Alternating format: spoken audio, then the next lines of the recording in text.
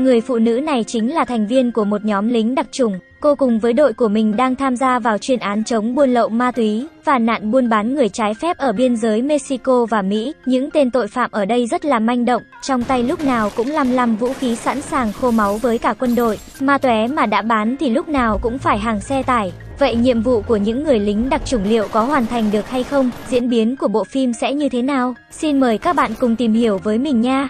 Một đội biệt kích của cảnh sát đang di chuyển từ từ, cùng hàng loạt vũ khí súng ống trên tay. Họ đang phát động cuộc tấn công vào căn cứ điểm của bọn cướp và giải cứu con tin trong thị trấn này. Lúc này, trong xe đột kích tối om, kết điều chỉnh nhịp thở gấp của mình lại, tiếng gầm rú của động cơ vang lên ngày càng to.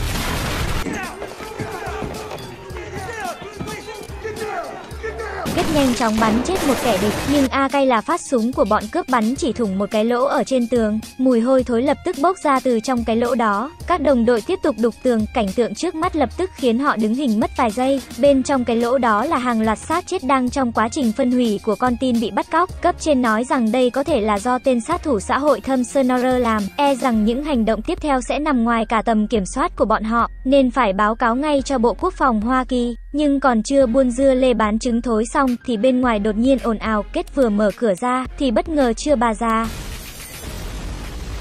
Đó cũng chính là vụ thảm án chấn động cả nước, dám đánh bom cả quân triều đình thì cũng không phải dân chơi phố núi bình thường rồi. Bộ Quốc phòng Hoa Kỳ cử một đặc công đỉnh của chóp là Met đến, để tiêu diệt đám bậu sậy này, cũng có vài trợ thủ trong đội soát sẽ giúp Met cùng hành động để hoàn thành nhiệm vụ. Đó chính là kết có kinh nghiệm vô cùng phong phú, 5 lần thực thi nhiệm vụ đều thất bại, nhưng điều đó không làm cho kết nhụt trí mà khiến cô càng căm ghét bọn Sonora càng muốn đánh bại chúng hơn. Một thanh niên khác cũng vô cùng ưu tú có bằng đại học, IQ cực cao nhưng lại chưa có kinh nghiệm, có được đồng đội uy tín như thế này, Matt cũng bị sang chấn tâm lý lâm sàng tạm thời, cho nên anh đã lựa chọn so với thanh niên kia thì kết có vẻ ổn áp hơn. Cứ như vậy, Matt và kết bắt đầu bàn bạc về công việc. Cô kết hôn chưa? Kết hôn thì liên quan éo gì? Cô có chồng chưa? Kết nói với Matt mình đã ly hôn một năm trước rồi, nhưng không có con. Thế là Matt lập tức chọn cô là cộng tác để thực hiện nhiệm vụ, nghe vô lý nhưng lại hết sức thuyết phục. Cứ như vậy, kết được Matt tuyển vào đội hành động đặc biệt của ông ấy. Matt nói với cô rằng họ chỉ cần đi về phía nam, không có nguy hiểm gì cả nên không phải lo lắng. Nhưng ngay sau đó thì Kết lại cảm thấy như tất cả mọi người trong đội đang cố gắng che giấu điều gì đó. Nhưng Kết cũng không quan tâm nhiều.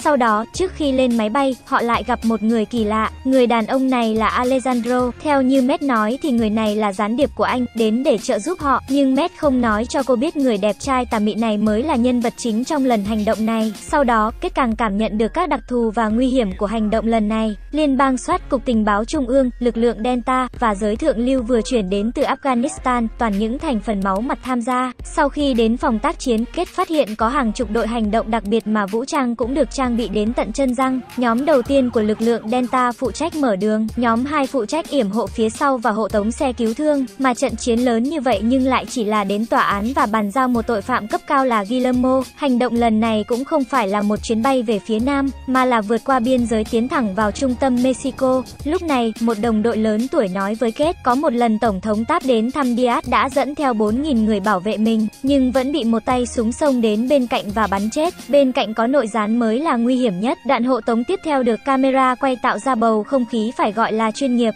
Sau khi đến địa điểm giao dịch tù nhân bị áp giải lên xe, hành động phía sau mới thật sự nguy hiểm. Họ nhanh chóng phát hiện ra chiếc xe khả nghi, cả đội đều trở nên cảnh giác, đều vô cùng căng thẳng. Tiếp sau đó là một vụ tắc đường lớn dài hàng trăm mét, vô số ô tô đều bị tắc không thông được ở trên cầu. Kết và đoàn xe của cô bị tắc ở trong đó. Với tình hình đặc biệt này thì sự chuyển động của mỗi chiếc xe đều tiềm ẩn nguy hiểm. Alejandro nhắc Kết phải chuẩn bị sẵn sàng súng trong tay bất cứ lúc nào. Hướng 10 giờ, một chiếc xe Chevrolet màu đỏ khả năng có tay súng đang ẩn nấp. Bên trái, hướng 7 giờ lại có một chiếc đáng nghi xuất hiện. Alejandro nhanh chóng mở chốt báng súng, bắt đầu cảnh giác chiến đấu. Cả quá trình Kết giống như một đứa trẻ hoảng sợ, hoàn toàn không biết nên làm gì, mà vừa vặn chính là nguyên nhân mét chọn cô. Cấp trên hạ lệnh cho phép xuống xe và cho phép bọn họ nổ súng. Alejandro dẫn theo đồng đội xuống xe, tay súng phía đối thủ lập tức hoảng sợ, không được cử động, không được manh động, yên lặng đi, yên lặng đi.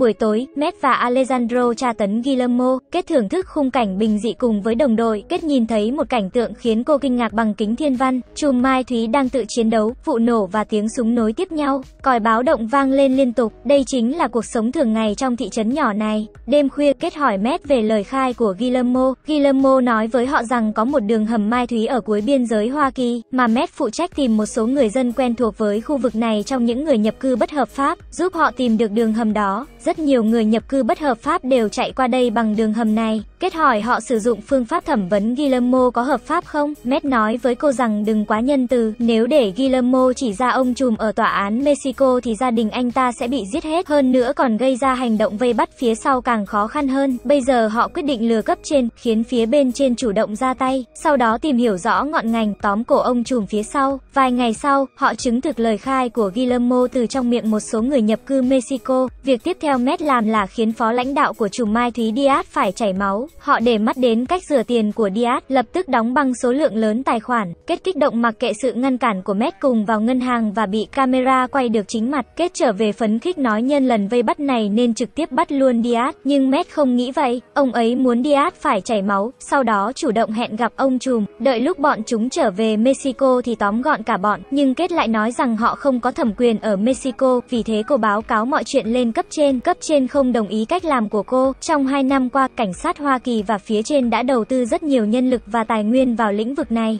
Ép bọn tội phạm chủ động hành động, thả dây dài ăn cá lớn, là cách nghĩ có thể giành được thắng lợi nhất ở thời điểm hiện tại. Cấp trên nói với cô, về việc có hợp pháp hay không thì không cần lo lắng, một đội lực lượng Delta đều có thể điều động bất cứ lúc nào, ngồi máy bay tư nhân sang trọng bay vòng quanh loạn xạ, Tổ chức hành động đặc biệt tự do ra vào căn cứ quân sự có hợp pháp hay không thì không cần cô lo. Kết cảm thấy mình đã hoàn toàn trở thành một cái bình hoa, mà đây chính là nguyên nhân mà mét chọn cô. Trong đội cần một bình hoa như cô. Buổi tối, Kết tức giận mượn rượu giải sầu ở quán bar. Cô nhìn chúng một anh chàng, hai người tâm đầu ý hợp. Nhưng khi trở về nhà, Kết mới biết đối phương là người trong băng đảng Mai Thúy. Chuyện quái gì vậy? Cô muốn giết tôi sao? Cô điên rồi sao? Đáng chết Kết. Cô dừng lại cho tôi. Kết đã bị lộ mặt ở trong ngân hàng, vì thế mét nhân cơ hội hội dùng mỹ nhân kế, may mà kết bị tấn công, đã cho Met cơ hội hành động mang đến bước tiến đột phá. Đối phương đã khai ra tất cả phần tử tham những dưới sự tra tấn của Met. Lần này Met có thể bắt đầu hành động rồi. Diaz trở về nước và gặp ông trùm. Met chia thành hai hướng hành động, gây ra động tĩnh càng lớn càng tốt. Met cuối cùng cũng nói cho kết biết nguyên nhân thật sự tuyển chọn cô. Hành động xuyên quốc gia cần phải có một người của FBI gia nhập mới có tính hợp pháp.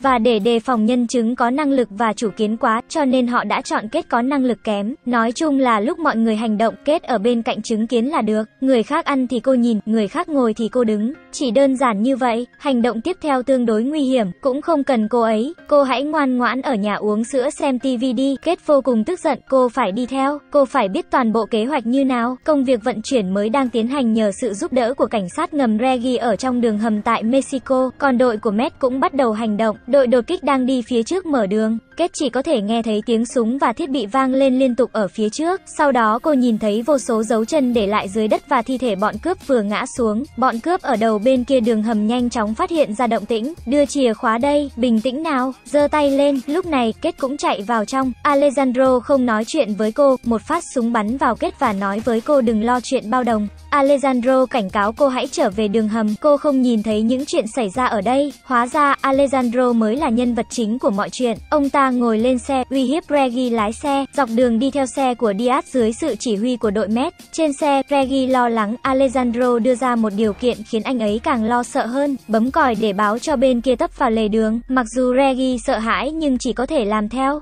xe không dừng thì tiếp tục cảnh báo. Diaz cũng phát phiền, là tên nào muốn chết vậy, dám chặn xe ông đây, nhưng hắn cũng đành xuống xe. Alejandro còn muốn Regi nói chuyện với đối phương, nếu mày không làm theo tao sẽ giết mày, kéo áo khoác lên, sau đó quay lại, đối phương nghe theo mệnh lệnh vứt súng đi, bây giờ đến lượt Reggie xuống xe rồi. Alejandro dùng cách thức giống vậy khống chế Diaz, mấy tay súng ở phía trước biệt thự xa hoa của ông trùm nhìn thấy xe của Diaz nhưng hành động lại rất khả nghi, khi bọn chúng đi ra phía sau chỉ thấy Diaz bị bắn gãy cổ, Alejandro bắn súng như thần gặp kẻ nào giết kẻ đó, trực tiếp đi đến trước bàn ăn của Sonora. Lúc trước Sonora giết toàn bộ gia đình của Alejandro, ném con gái ông ấy vào axit sulfuric, bây giờ đến lượt Alejandro đến báo thù, còn phía Met ông cũng kể tình hình cho Kết nghe, họ căn bản chưa từng nghĩ sẽ bắt hết tội phạm, đó là điều không thể, chỉ cần những kẻ dùng và lợi ích còn tồn tại thì mối làm ăn vẫn sẽ tiếp tục, chẳng qua bọn họ là giúp Mexico thanh lý băng đảng Mai Thúy mà thôi, thống nhất quy mô lớn, tìm một ông trùm biết nghe lời lũng đoạn thị trường này, như thế phía chính phủ mới dễ quản lý, thay bằng cách nói khác thì có người như cô làm việc thì bọn tôi khá yên tâm, lý tưởng của Kết lập tức bị đánh bại, cô đi trong bóng tối càng lâu thì biết được sự thật càng xấu xa hơn, Alejandro chính là người giúp ông trùm lũng đoạn thị trường, bởi vì Sonora mà cả gia đình ông ta bị giết, cho nên phía chính phủ đã giao dịch với ông ta, hỗ trợ lẫn nhau giết chết ông trùm mà phía chính phủ không tiện bắt giữ, chỉ đơn giản vậy thôi, Sonora cũng biết mình không sống nổi nữa, ông ta chỉ nói một câu, có thể đừng giết ông ta trước mặt người nhà của ông ta hay không? Có thể.